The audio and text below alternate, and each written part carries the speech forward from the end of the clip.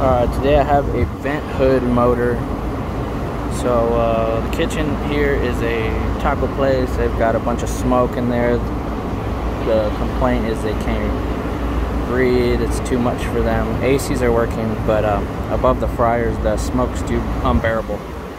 Um, so I came to the service call a few days ago. Um, this breaker was tripped for this motor for this main vent hood. It's the greasy one, so you know it's the main one. Uh, I turned it on, I reset it, I inspected everything, reset it. It ran for a few minutes and it starts sparking and it internally the windings just burned up. It's a three-phase motor, so the motor is bad. I'm just gonna do a quick video on how to wire your new motor. It's got an A66 belt. The belt has a crack on it, it's bad, got a new belt. Um, what I'm gonna do here is look at this new motor um, so when you're looking for your motor, if you got a restaurant or something, you're looking for the um, this cat number is your model number. Um, then you want the voltage, the correct voltage. Notice there's two 230 and 460. Those are huge differences. You'll explode if you do it the wrong way. Uh, you might hurt yourself. So be careful. Make sure you know what you're doing. Amperage. Uh, you want to make sure the RPMs are are the same on this motor it's a 1725 this one's 1755 so it's got a pinch um, more that's not going to hurt anything. Uh, the frame uh, the bolt placement and the, the length between the bolts to the positioning on these things. So that matters. So they're going to want your frame number. Um, so let's see what else. We got um, your efficiency if that matters let's see. Pretty much that's it. So really your model number your voltage your horsepower that matters. You don't want it to go crazy. It'll it'll break. So your voltage your horsepower uh, your rpms and uh, your frame. So your frame you can kind of alter it if you're good with nuts and bolts and drilling holes and fabrication. Uh, but uh, to save yourself the time, you want to you want to match those three: the frame, RPM, um, the voltage, the horsepower, and uh, I guess the amps. But those are the main ones right there. Uh, next, you're going to look at your shaft size. Um, I took a measurement here, and uh, this is like a, a bushing, so you want to measure the shaft inside. And the measurement I got was three quarters of an inch. Uh, so I told that to the parts guy and he uh, said there's no three quarters so the closest thing was a 7 eighths. So this is most likely 7 eighths. I was in a hurry and that's probably what it is. Um, so he gave me a 7 eighths shaft over here. And uh, I didn't know if the um, the pulley was going to be seized on here. Sometimes you can't take them off. You gotta put a little WD 40 some elbow grease and uh, some sweat and tears on these things and then uh, you might be able to get it off and reuse it. But um, as you can see the uh, there's basically no wall left so it definitely needs replacement. I ordered a new one. Uh, so you want to match your pulley size get your shaft size and then your pulley size right here. This will be your diameter all the way across and to the center halfway will be your radius I measured four and three quarters. So the guy kind of corresponded that to the, the pulley I have over there. So I just wanted to give you some insight on one, changing one of these motors. Uh, the same thing goes for uh, a vent hood that looks like this. This one just looks all busted. So you want to make sure your pulley is going to be the right size because uh, the belt has X amount of length from that pulley to this pulley and uh, that will affect if your belt's gonna work or not. So I really want to try to use this one but I got a new one anyway so I'm gonna pop that on there. And uh, the next thing I want to talk about is the wiring. So I, I got these screws out. It's got a like a, uh, a kind of like a chassis it sits on.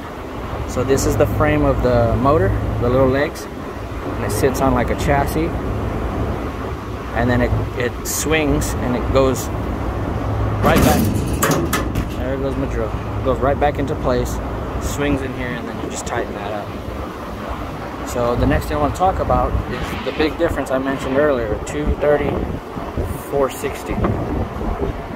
Uh, so there's usually uh, either a piece of paper comes with or a wiring diagram.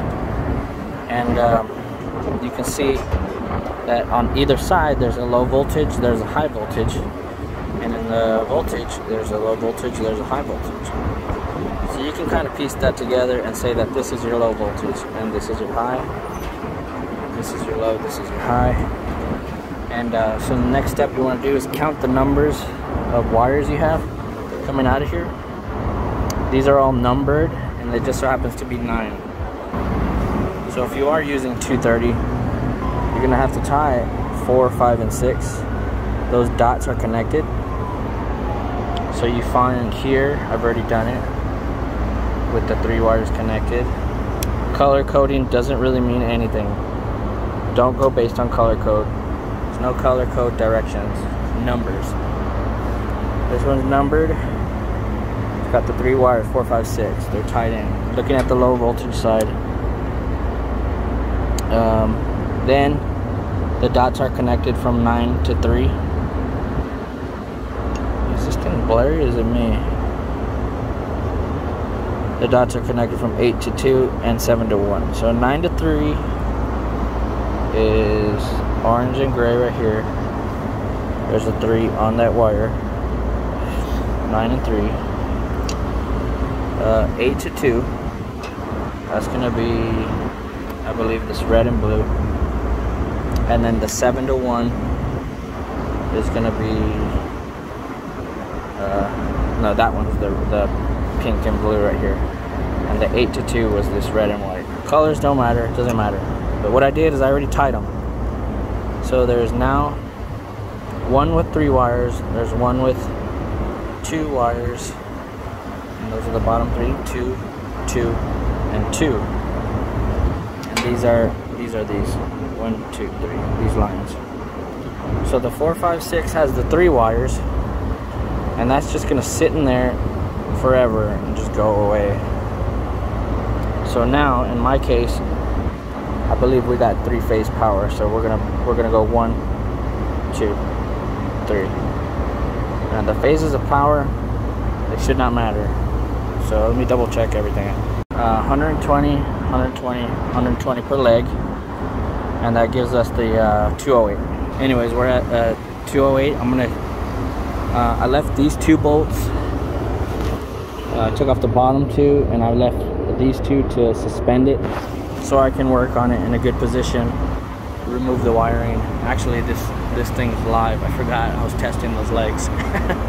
So I'm gonna go shut that off before I hurt myself and then uh, ready to unscrew those two things drop it out pop this one in place and then wire it in. So all right so I positioned my motor. These screws are loose but I got all four bolts uh, nuts and bolts just holding the motor back here.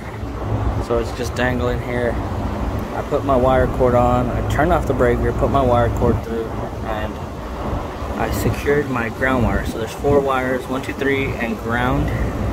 The green is ground. I just looped it and then uh, got my drill 5 16 uh, got that green nut there. Loosened it, popped the wire in, put it back in. Uh, so now I'm dealing with uh, one, two, three, the other three wires. So it's three phases. Uh, the last thing you got to keep in mind is the rotation. So this, this is the other motor. I simply pulled it off the frame and set it exactly the way it is on the frame. These two little legs, just like that. Um, so you can see there's a sticker on here. The rotation is pointing that way. I don't know if you can see it.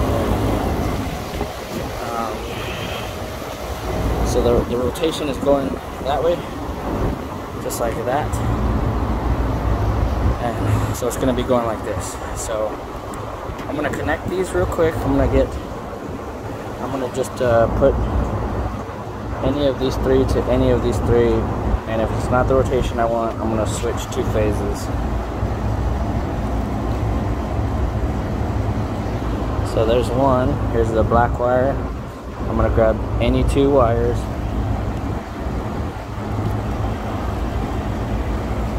put them to the black wire I've set my phone down. Uh, there's the black wire. And then uh, the last set of two wires, which is these two, to that little bitty blue one back there.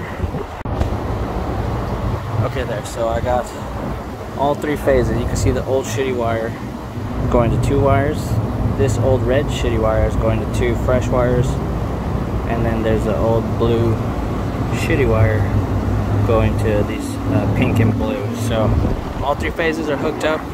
We want our shaft to be turning this way uh, before we solidify anything. I'm gonna tighten this nut just hand tight just because the motor is about to start when I turn on the breaker and I don't want it to go crazy. So, and I just want to see the rotation. So, breakers over here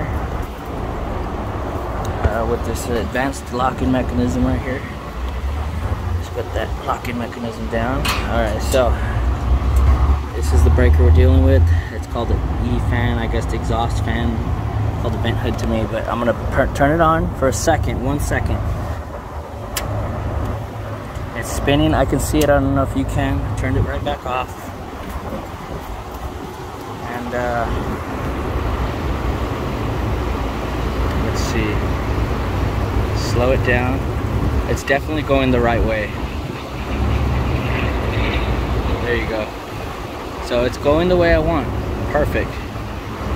So uh, I'm pretty much ready to put my pulley on and uh, adjust next time.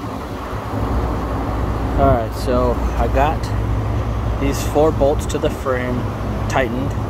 So that thing's pretty secure. I got power off back there. I got um, my new pulley here. This is the Allen that fits. I got, there's a keyhole right here. And that is the little key that fits into this groove on the shaft. So uh, this is the threaded bushing right here inside the pulley. Uh, so we are going to uh, just simply slide that on. We're gonna add this key. I don't bring any oil, but you can see it's super loose. Gonna kind of drop it. But what you want to do is look this way, and I'm not gonna do it with the camera because I'm gonna get it wrong, but I gotta eyeball it. And this needs to go up like a lot more. And uh, so what you want to do is, is once you situate those two that are level, put your belt on, and you want to take an amp draw on each uh, one of your legs, and just make sure that this amp draw on the motor right here says 4.4 slash 2.2 the 4.4 corresponds with the 230 low voltage of the motor. The 2.2 corresponds with the high voltage 460. So we're wired for the 230. We want to keep these amps below 4.4 or else this motor, $1,000 motor, will burn right up. So you got to keep your amperage under that. That's what that, that marking is for. If you don't know what you're doing, don't do this. So I'm to situate these pulleys, add on the bolts, take some amp draws, and then uh, I put my belt on and then uh, see if we're good to go and that'll be the end of the Something I forgot to mention is I took a picture of the old pulley and uh, the new pulley you can see that there's a nice 45 that way, 45 that way. The old pulley looks like a square like this, exactly like this one. No like uh, curvature nothing concave. See right there with that background. So this pulley is pretty much bad also. And it's got some bad like marring uh, right here, grinding, whatever that is. So um, this pulley definitely needs to be replaced. I'm not gonna do that today, but I just wanted to show you so you know that the pulley's bad. So this one's got a nice 45 degree angle. Once you adjust it to the belt size, that helps uh, the belt stay widened. So once those wear out, they get smaller and your belts are all loose. Uh, so that's just a side note on these pulleys. Uh, the good thing about belts and pulleys is they, they're designed for the belt to wear out, get skinnier, pulley wears out, gets skinnier. So when you have an issue, it's just a belt, like a $10 belt. versus too much tension on the motor and then it, you got to replace the motor every time. So that's the beautiful part about uh, belts and pulleys. So you put, so I'm about to fire it up, but one more side thing I noted, I wanted to note is I brought a universal belt uh, just in case. So if you didn't know these things exist, they exist. You're able to adjust this belt to any size. For example, if this one's pulling too tight, it's too many amps, um, it's not gonna work. I'm not gonna burn out this motor, so I'm gonna have to put out this bad boy. And uh, these things come in like uh, maybe two inches long a piece, and there's a million of them. And all you gotta do is simply, you know, twist them, twist these little heads, get it out of the hole, and uh, pull one off and adjust the size. So I brought this emergency belt so I can go home before 5 or at 5 so I'm not here all night driving back and forth for a belt. That will save your ass. Uh, getting ready to fire this up. I'm gonna fire it up and take some amp draws and make sure I'm under the RLA uh, amps so I do not burn up this motor. So let's fire it up. Alright, I got my uh, meter on amps. I got it around one phase. I'm leaving another phase so I can, I think it's gonna be too tight. I want nothing to explode, so here we go. I already verified the, the rotation. I'm gonna turn this on. One, two, three. So let's go check, check our amp draw. They're gonna be very happy when they feel the air. I got 3.5 amps. And it's about ramped up, so you wanna wait for it to ramp up. Gotta be under that four, four, four. There's another leg. Over the shitty wire. Next shitty wire, 3.3. And then the last shitty wire is kind of low in there, so I'm not gonna take that one. As long as I'm after these two, I'm happy. Like for it to be a little bit lower, but that's fine, man. So I want to see if I can possibly, and that's not even with this secured. See if I can possibly loosen it a pinch but as of right now, we're good. 3.4. And the other one's 3.4. This motor's good to go. And I raised the pulley as high as I can get it. And you can see like the belt's uh, pretty decent, but uh, this one needs some work. That pulley needs to be replaced. So we'll address that later. There you go, guys. Alright guys, so this vent hood is uh, coming to an end. I loosened the uh, tension bolts over here, those two back there. And uh, you can see it's kind of that way. So I loosened the, the belt to where it's, you know, not going to overpower this motor. And uh, took an amp draw, I got 3.0, so that's a little bit better. So it's to last a little bit longer. It's not to have so much load on it. Uh, this customer is to be very happy. They're, you know, they're complaining for like three days, two days uh, I'm gonna wrap this one up. Just make sure when you're done with these jobs, you you put your uh, high-tech security uh, system back on the breaker so nobody gets back in there. And uh, wrap it up, dude. We'll start selling and talking. That's it. All right, man. Thanks for watching.